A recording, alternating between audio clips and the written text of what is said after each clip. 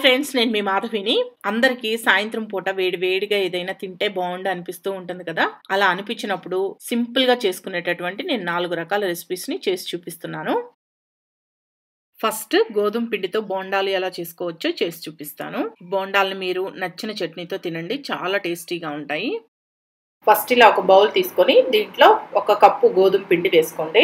దీంట్లోనే రెండు టేబుల్ స్పూన్లు బియ్యం పిండి వేసుకోండి అంటే రైస్ ఫ్లో. అలాగే ఒక టేబుల్ స్పూన్ శనగపిండి వేసుకోండి. ఈ శనగపిండి మీ ఆప్షనల్ అండి. ఇష్టం ఉంటే వేసుకోండి వేసుకోకపోయినా పర్వాలేదు. కానీ బియ్యం పిండి మటుకు వేసుకోండి. బియ్యం పిండి వేసుకోవడం వల్ల మనకి కొంచెం క్రిస్పీగా వస్తాయి బోండాలు అనేవి. అలాగే మీ రుచికి సరిపడా సాల్ట్ వేసుకోండి. జీలకర్ర ఒక టీ స్పూన్ వేసుకోండి. అలాగే పచ్చిమిర్చి రెండు లేదా మూడు పచ్చిమిర్చి తీసుకొని ఇలా కట్ చేసి వేసుకోండి. ఒక రెండు రెమ్మల కరివేపాకు తీసుకొని ఇలా సన్నగా తరిగి వేసుకోండి. కొత్తిమీర తరుగు కొంచెం ఉల్లిపాయ మీడియం సైజు ఒక ఉల్లిపాయ తీసుకొని ఇలా ముక్కలుగా కట్ చేసి వేసుకోండి. ఇవన్నీ వేసుకున్న తర్వాత ఒకసారి మొత్తం బాగా కలుపుకోండి. దీంట్లో ఇంకా మీకు కావాలంటే అల్లం తరుగైనా వేసుకోవచ్చు. ఒక చిన్న ముక్క అల్లం తీసుకొని సన్నగా తరిగి వేసుకోండి. అల్లం వేసుకున్న టేస్ట్ బాగుంటుంది. ఇలా కలుపుకున్న తర్వాత దీంట్లో ఒక కప్పు పెరుగు వేసుకోండి. నేను ఇక్కడ ఒక చిన్న కప్పుడు పెరుగు తీసుకున్నాను. ఈ పెరుగు కూడా పుల్లగా ఉంటే టేస్ట్ బాగుంటుంది. పెరుగు కూడా వేసిన తర్వాత మొత్తం బాగా కలుపుకోండి. ఇలా కలుపుకునేటప్పుడే దీంట్లో ఒక పావు టీ స్పూన్ వంట సోడా వేసుకొని కలుపుకోండి. ఈ వంట సోడా వేసి కలిపిన తర్వాత దీంట్లో కొంచెం కొంచెం వాటర్ యాడ్ చేసుకుంటూ మనకి దోశ పిండి కంటే కాస్త గట్టిగా అంటే బోండాల పిండి ఎలా అయితే ఉంటుందో ఆ విధంగా కలుపుకోవాలి. ఆ విధంగా వచ్చేదాకా కొంచెం కొంచెం వాటర్ యాడ్ చేసుకుంటూ కలుపుకోండి. చూసారా? ఈ విధంగా మనం బోండాలు వేసుకునే విధంగా వచ్చేటట్లు కలుపుకోవాలి. ఈ వీడియోలో చూపిస్తున్నట్లు రావాలి. ఇలా వస్తే మీకు పర్ఫెక్ట్గా బోండాలు చక్కగా వస్తాయి. ఇలా కలుపుకున్న పిండిని పక్కన పెట్టుకోండి. ఇప్పుడు స్టవ్ పైన బాండిలు పెట్టుకొని డీప్ ఫ్రైకి సరిపడా ఆయిల్ పోసుకోండి. ఆయిల్ కాగిందా లేదా అని మీరు ఈ పిండిని కాస్త వేసి చూసారంటే చూడండి ఇమీడియట్గా పైకి వచ్చింది కదా. ఈ విధంగా వచ్చింది అంటే ఆయిల్ బాగా కాగింది అని ఇప్పుడు ఈ పిండిని మనం బోండాలు ఏ విధంగా అయితే వేసుకుంటామో ఆ విధంగా మీకు ఏ సైజ్ కావాలో ఆ సైజ్ బోండాలు వేసుకోండి ఆయిల్లో. ఈ వీడియోలో చూపిస్తున్నట్లు వేసుకోండి. ఇలా మీ బాండిల్కి సరిపడా వేసుకొని ఇలా తిప్పుకుంటూ మంచి కలర్ వచ్చేదాకా వేయించుకోండి.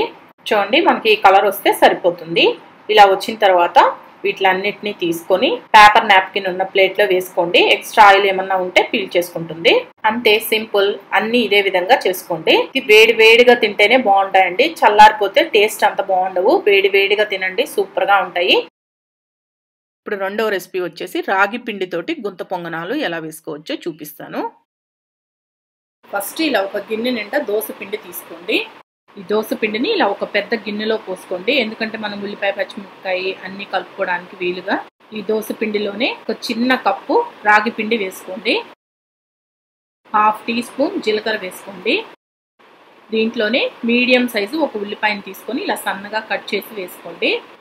అలాగే కొత్తిమీర ఒక చిన్న కట్ట తీసుకొని ఇలా సన్నగా తరిగి వేసుకోండి. పచ్చిమిర్చి రెండు లేదా మూడు పచ్చిమిర్చి తీసుకొని ఇలా సన్నగా తరిగి వేసుకోండి. అల్లం తరుగు వన్ ఇంచ్ అల్లం తీసుకొని ఇలా సన్నగా తరిగి వేసుకోండి. దీంట్లోనే మీ రుచికి సరిపడా సాల్ట్ కూడా వేసుకోండి. ఇలా అన్ని వేసుకున్న తర్వాత ఈ రాగి పిండి బాగా కలిసేటట్టు బాగా కలుపుకోండి. చూడండి ఇలా కలిపిన తర్వాత మీకు కాస్త గట్టిపడింది అనుకోండి. కొంచెం వాటర్ వేసి కలపండి. ఇక్కడ నేను వాటర్ పోస్తున్నాను. వాటర్ వద్దు అనుకుంటే మజ్జిగ అయినా వేసుకోవచ్చు. మజ్జిగ వేసి కలుపుకున్నా కానీ పర్వాలేదు. ఇలా వాటర్ కూడా వేసి మొత్తం బాగా కలపండి. ఒకవేళ మీకు దోశ పిండి అవైలబుల్లో లేదనుకోండి అలాంటప్పుడు రాగి పిండి కొంచెం గోధుమ పిండి మజ్జిగ మూడు కలిపి కలుపుకోండి. మజ్జిగ బదులు పెరుగైనా వేసుకోవచ్చు. అలా చేసుకున్నా కానీ బాగానే ఉంటాయి. నేను ఇక్కడ దోశ పిండి ఉంది కాబట్టి దోశ పిండితో చేసి చూపిస్తున్నాను.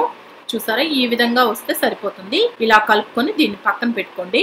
ఇప్పుడు ఇలా గుంత పొంగనాలు వేసుకునే స్టాండ్ని స్టవ్ పైన పెట్టుకొని ఈ గుంటల్లో కొంచెం కొంచెం ఆయిల్ వేసుకోండి. అన్నిటిలో ఇలా ఆయిల్ వేసుకున్న తర్వాత వీటిల్లో మనం ఆల్రెడీ ప్రిపేర్ చేసి పెట్టుకున్న ఈ పిండిని కొంచెం కొంచెం వేసుకోండి. ఫుల్గా వేసుకోవద్దు. హాఫ్ వరకు వేసుకుంటే సరిపోతుంది. కొంచెం మనకి పొంగుతాయి. ఇలా అన్నిటిలో వేసుకోండి. ఇలా అన్ని వేసుకున్న తర్వాత వీటి పైన కూడా కాస్త ఆయిల్ వేసుకోండి. ఇలా ఆయిల్ కూడా వేసిన తర్వాత దీనికి మూత పెట్టి సిమ్లో పెట్టి ఐదు నిమిషాలు ఉడకనివ్వండి. ఐదు నిమిషాల తర్వాత మూత తీసి ఇలా ఒక్కొక్క దాన్ని రెండో వైపు తిప్పుకోండి. ఇలా అన్ని రెండో వైపు కూడా తిప్పి రెండు మూడు నిమిషాలు ఇటువైపు కూడా కాలనివ్వండి. ఇలా రెండో సైడ్ కూడా ఉడికిన తర్వాత మొత్తం తీసుకొని ఏదైనా మీకు ఇష్టమైన చట్నీతోటి సర్వ్ చేసుకోండి. టమాటా చట్నీతో కానీ లేదా మామిడికాయ పచ్చడితో కానీ చాలా బాగుంటుందండి. పుల్ల పుల్లగా నంచుకొని తింటే సూపర్గా ఉంటుంది. ట్రై చేసి చూడండి. ఇప్పుడు మన మూడో రెసిపీ వచ్చేసి మసాలా వడ. కరకరలాడుతూ మంచి రుచిగా చేసుకోవాలంటే ఎలా చేసుకోవాలో చూపిస్తాను. మొదటగా మీరు ఒక కప్పు పచ్చి శనగపప్పు తీసుకొని ఒక గంట పాటు నీళ్ళల్లో వేసి నానబెట్టుకోండి. నానబెట్టుకున్న తర్వాత మీకు ఈ విధంగా బాగా నానుతాయండి. ఇంకొంచెం ఎక్కువసేపు నానబెట్టుకున్నా పర్వాలేదు. ఇలా నానిన ఈ శనగపప్పుని నీళ్ళన్నీ వడగట్టేసుకొని ఈ శనగపప్పుని సపరేట్ చేసి పెట్టుకోండి. చూడండి బాగా నానున్నాయి కదా. ఇలా నానాలి. ఇలా నానిన తర్వాత ఈ శనగపప్పుని ఇలా ఒక మిక్సీ జార్ తీసుకొని ఈ మిక్సీ జార్లో వేసుకోండి. ఇలా శనగపప్పు మొత్తం వేసుకున్న తర్వాత ఒక అంగుళం అల్లం తీసుకొని ఇలా ముక్కలుగా కట్ చేసి వేసుకోండి. దీంట్లోనే ఒక ఏడెనిమిది వెల్లుల్లి రెమ్మలు వేసుకోండి.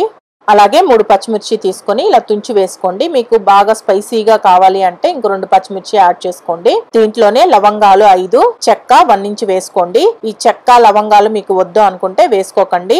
కానీ వేసుకుంటే మటుకు మసాలా వడలు చాలా టేస్టీగా ఉంటాయండి. చాలా మంది చెక్క లవంగాలు వేసుకోరు. ఒకసారి వేసుకొని చూడండి. టేస్ట్ చాలా బాగుంటాయి. దీంట్లోనే ఒక టీ స్పూన్ జీలకర్ర కూడా వేసుకొని అన్ని కలిపి మిక్సీకి వేసుకోవాలి. మరి మెత్తగా పేస్ట్ లాగా చేసుకోవద్దండి. మనకు అక్కడక్కడ ఈ శనగపప్పు తగులుతూ ఉండాలి. అంటే కచ్చా పచ్చగా మిక్సీకి వేసుకోండి. మరి పేస్ట్ లాగా చేసుకోవద్దు. అలా చేసుకుంటే టేస్ట్ అస్సలు బాగుండదు. చూడండి ఈ విధంగా కచ్చా పచ్చగా మిక్సీకి వేసుకోవాలి. మరి మెత్తగా పేస్ట్ లాగా చేసుకోవద్దు. మనకు అక్కడక్కడ శనగపప్పు కనిపిస్తూ ఉన్నాయి కదా ఇలా వేసుకోవాలి మిక్సీకి. మీకు ఇలా మిక్సీకి వేసుకోవడం కష్టంగా అనిపిస్తే ఒక గుప్పెడు పప్పుని తీసి పక్కన పెట్టుకొని మిగతాది మిక్సీకి వేసుకొని ఆ పప్పుని మిగిలిన పప్పుని దీంట్లో కలిపేసుకోండి. సరిపోతుంది. ఇప్పుడు ఈ శనగపప్పు ముద్దని వేరొక గిన్నెలోకి తీసుకోండి. ఇప్పుడు దీంట్లో మీ రుచికి సరిపడా ఉప్పు వేసుకోండి. అలాగే ఒక పెద్ద సైజు ఉల్లిపాయని తీసుకొని ఇలా సన్నగా ముక్కలుగా కట్ చేసి వేసుకోండి. రెండు రెమ్మల కరివేపాకు ఇలా సన్నగా కట్ చేసి వేసుకోండి. లాస్ట్గా సన్నగా తరిగిన కొత్తిమీర కొద్దిగా వేసుకొని మొత్తం బాగా కలుపుకోండి. దీంట్లో మనం ఎక్స్ట్రా నీళ్ళు ఏమి యాడ్ చేయాల్సిన అవసరం లేదండి. ఇలానే కలుపుకోండి మొత్తం. చూడండి మొత్తం ఇలా ముద్దలాగా కలుపుకున్న తర్వాత ఇలా కొద్ది కొద్దిగా పిండిని తీసుకొని ఈ విధంగా రౌండ్గా బాల్ లాగా చేసుకోండి. ఇలా చేసుకున్న ఈ పిండిని ఇలా అరచేతిలో పెట్టుకొని ఈ విధంగా లైట్గా ప్రెస్ చేయండి. కట్లెట్లు ఎలా అయితే చేసుకుంటామో ఆ విధంగా ప్రెస్ చేయాలి. మసాలా వడ అనగానే మామూలుగా అందరికీ తెలుసు కదండి. ఈ విధంగా తయారు చేసుకున్న వీటిల్ని ఒక ప్లేట్లో పెట్టి పక్కన పెట్టుకోండి. అన్ని ఇదే విధంగా చేసుకోవాలి.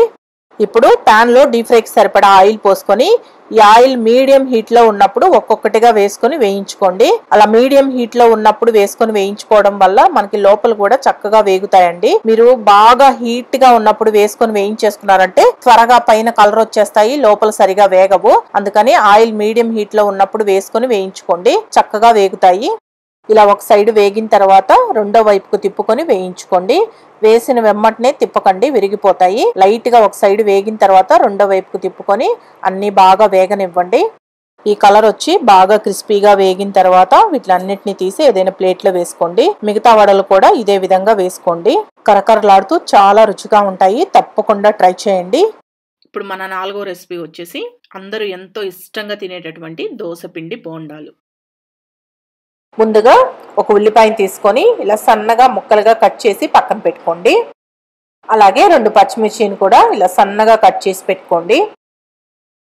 అలాగే ఒక రెండు మూడు రెమ్మల కరివేపాకును కూడా ఇలా సన్నగా కట్ చేసుకొని పక్కన పెట్టుకోండి. ఇప్పుడు పిండి కలుపుకోవడానికి ఇలా ఒక గిన్నె తీసుకొని దీంట్లో ఒక రెండు కప్పుల దాకా పులిసిన దోశ పిండి వేసుకోండి. దోసపిండి కాస్త పుల్లగా ఉంటేనే టేస్ట్ బాగుంటాయండి పులి బొంగరాలు ఈ దోసపిండి అనేది సరిగా పులవలేదు అంటే పులి బొంగరాలు కూడా రుచిగా ఉండవు. అందుకని కాస్త పులిసిన పిండినే తీసుకోండి. అలాగే ఇలా గట్టిగా కూడా ఉండాలండి పిండి. మీరు పిండిని రుబ్బి పెట్టుకునేటప్పుడే ఇలా గట్టిగా రుబ్బి పెట్టుకున్నారంటే సరిపోతుంది. చూడండి. ఇప్పుడు ఈ దోశ పిండిలో మీ రుచికి సరిపడా సాల్ట్ వేసుకోండి. దీంట్లోనే ఒక టీ స్పూన్ దాకా జీలకర్ర వేసుకోండి. ఈ జీలకర్రని కొంతమంది వేసుకుంటారు కొంతమంది వేసుకోరండి. ఇది మీ ఇష్టం ఇష్టం ఉంటే వేసుకోండి వేసుకోపోయినా పర్వాలేదు. అలాగే మనం ముందుగా కట్ చేసి పెట్టుకున్న పచ్చిమిర్చి ముక్కలు ఉల్లిపాయ ముక్కలు అలాగే సన్నగా తరిగి పెట్టుకున్న ఈ కరివేపాకు కూడా వేసుకోండి. ఇప్పుడు ఇవన్నీ వేసుకున్న తర్వాత మొత్తం బాగా కలుపుకోండి. దీంట్లో వంట సోడా ఏమి యాడ్ చేయాల్సిన అవసరం లేదండి ఇంకా. దోశ పిండి బాగా పులుసు ఉంటుంది కాబట్టి మనకి ఆయిల్లో వేసినప్పుడు చక్కగా పొంగుతాయి. చూడండి ఈ విధంగా బోండాల్లాగా వేసుకోవాలి. ఇక్కడ నేను చూపిస్తున్నాను కదా ఈ విధంగా. ఇలా రెడీ చేసుకున్న ఈ పిండిని పక్కన పెట్టుకోండి. ఇప్పుడు స్టవ్ పైన ఇలా ప్యాన్ పెట్టుకొని దీంట్లో డీప్ ఫ్రైకి సరిపడా ఆయిల్ పోసుకోండి. ఈ ఆయిల్ బాగా కాగాలండి. కాగిందా లేదా అని కొద్దిగా వేసి చూపిస్తున్నాను చూడండి మీకు. వేసిన వెమ్మటనే పైకి తేలింది కదా ఈ విధంగా వస్తుంది. ఇలా వచ్చినప్పుడు ఇలా కొద్ది కొద్దిగా పిండిని తీసుకొని పునుగుల్లాగా వేసుకోండి. చూడండి చక్కగా పొంగు వస్తున్నాయి కదా. మీకు కాస్త పెద్ద సైజు కావాలంటే పెద్ద సైజులో వేసుకోండి. పునుగుల్లాగా చిన్న చిన్నవి కావాలంటే చిన్నగా అయినా వేసుకోవచ్చు. ఇలా మీరు పెట్టుకున్న బాండిల్కి సరిపడినన్ని వేసుకున్న తర్వాత ఫ్లేమ్ని మీడియం ఫ్లేమ్లో పెట్టుకోండి. ఫస్ట్ వేసేటప్పుడు హై ఫ్లేమ్లో పెట్టి వేసుకోండి. తర్వాత మీడియం ఫ్లేమ్లో పెట్టుకొని అన్ని వైపులా బాగా వేగేటట్టు వేయించుకోండి. చూసారా? ఈ కలర్ వచ్చేదాకా వేగితే సరిపోతుంది. ఇలా వేగిన తర్వాత వీటిలన్నిటిని తీసుకొని ఏదైనా ప్లేట్లో వేసుకోండి. ఇదే విధంగా మిగిలిన పిండిని కూడా చేసుకోండి. అంతే చాలా సింపుల్ కదా? వీటిని మీకు నచ్చిన చట్నీతో తినండి.